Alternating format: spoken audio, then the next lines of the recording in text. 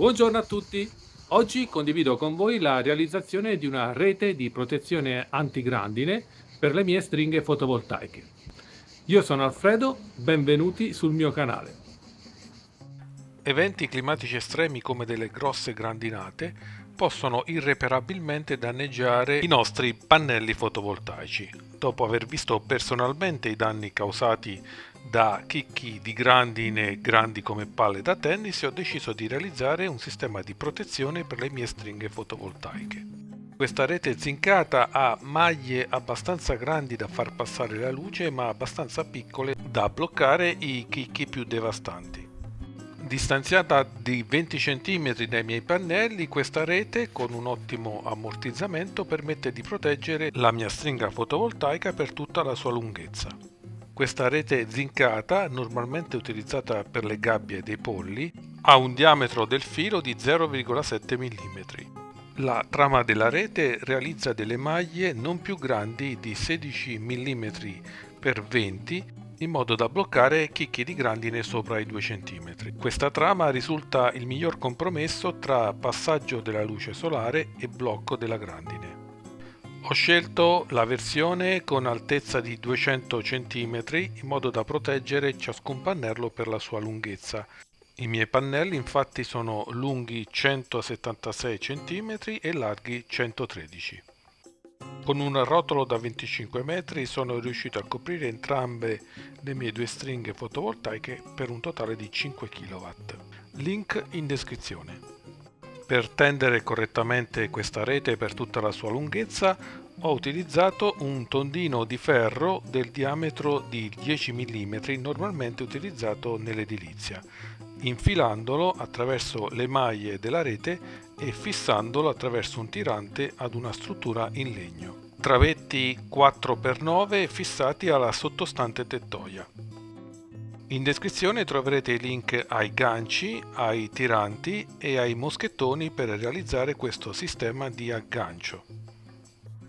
La presenza del tondino in ferro inserito sulle maglie in maniera alternata permette di dare maggiore rigidità alla rete per tutta la sua lunghezza lavorando questa rete su una lunghezza di circa 8 metri.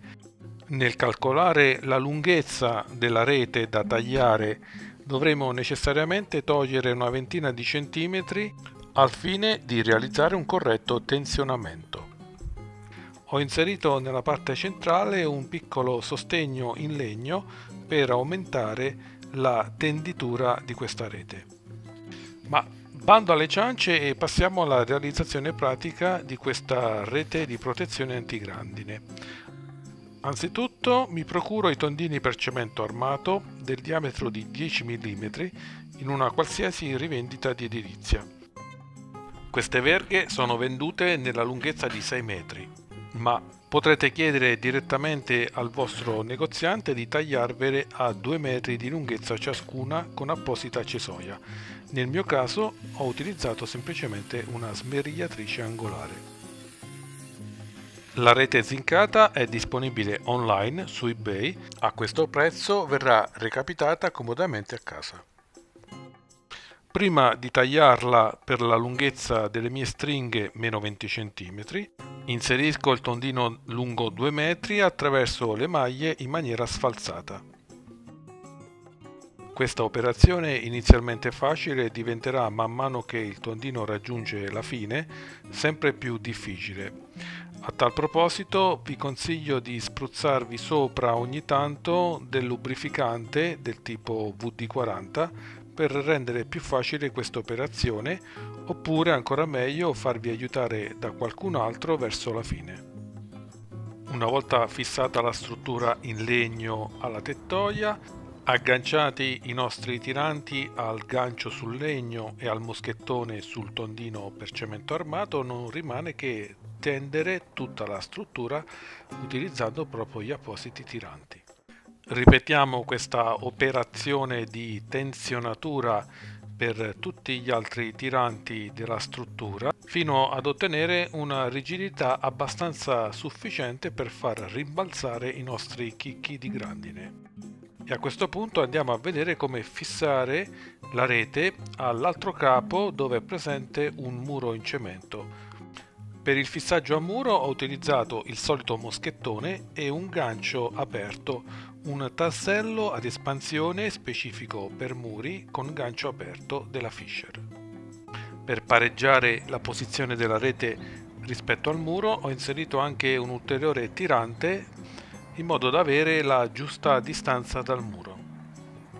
E a questo punto la mia stringa fotovoltaica lunga 8 metri è completamente protetta dalla grandine e riesce comunque a generare energia grazie a queste maglie molto larghe con una perdita di potenza solare irrisoria.